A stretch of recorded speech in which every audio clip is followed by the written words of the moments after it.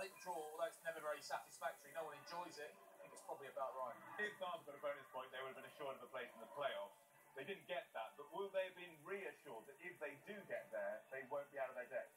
I think although it's coming close to the end of the season, it's all getting a bit tight. I don't think the Bath squad look like they need any reassurance at all. They're like a powerful, sort of confident bunch. But I think what it showed everyone else was, including Northampton, who I agree. thank you very much. Yes. Well, well done. Well done. must be there. This is Burrell. Can defence put one more shift in when they need to most of all? And it's been released. Oh, goodness me. How Mile have found that key at the bottom of his pocket was astonishing. It would take something special to beat this Bath. With that in mind, just how significant is tonight's match? Yeah, and not so much for the final, Joe. It's it's for um, our belief as a team. Our next step is to go and beat a top two side, and we've done really well against every other side.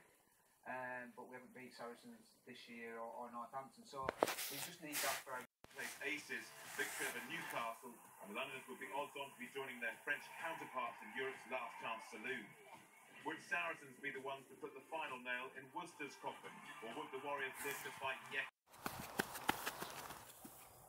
That's that.